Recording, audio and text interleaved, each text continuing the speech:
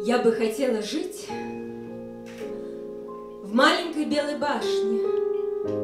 Лучше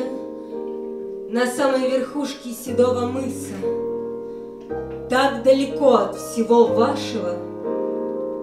Чтобы не встретиться даже в случайных мыслях, И чтобы кружили орлы, Толстые, разодетые, как оперные сопрано, А я бы садилась у форточки На деревянный стульчик И провожала их на гастроли в другие страны,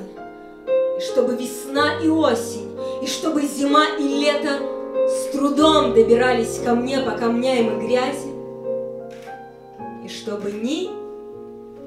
телефона,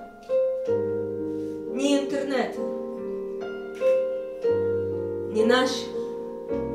печальной связи.